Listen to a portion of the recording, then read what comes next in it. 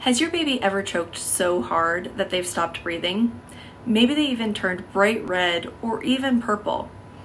The medical world calls this a BRUE, or a brief resolved unexplained event. Previously, uh, before a few years ago, they were called ALTEs, which stood for Apparent Life Threatening Event. And they changed the name because they thought by calling it a BRUE, a brief resolved unexplained event, it would be less scary for parents. The reality is, is if your baby's ever experienced one of these, you know that it's not less scary no matter what we call it. Rui or ALTE, doesn't matter. It feels like a lifetime when your baby stops breathing. Now, did you know that many of these events can actually be related to reflux?